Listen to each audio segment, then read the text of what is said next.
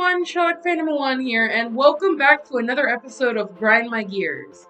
We'll be talking about different Pixar movies that have little elements that make, like, little to no sense to me. So, Pixar, I have questions. The most unrealistic thing in Toy Story 1 is that Sid wins a claw game twice. Not only does he win it twice, he wins three toys, one of which is Buzz Lightyear, a new on the market toy, which is very unlikely to be in a crane machine in the first place. On the subject of Toy Story, though, what makes a toy? Like those rolling popper things that kids play with, the little things that you push and it goes. Would that be a toy? Would it be sentient? How do you? How, what is? What's a sentient toy and what makes a not sentient toy?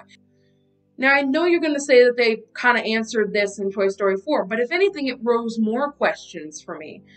If trash can be a toy, can toys create life? Finally, the last topic I want to bring up comes from Monsters Inc., one of my favorite Pixar movies and definitely in my top three. You know Celia, that character with the purple snake hair, and she's voiced by Jennifer Tilly? Okay. Well, if she ever cut her hair, would she be a criminal? You're gonna say that doesn't make any sense, but her hair is living, right? And the snakes are alive and conscious. I mean, they in the movie they sigh in relief when she says she's not gonna cut her hair. So if she did cut her hair, they would die, right?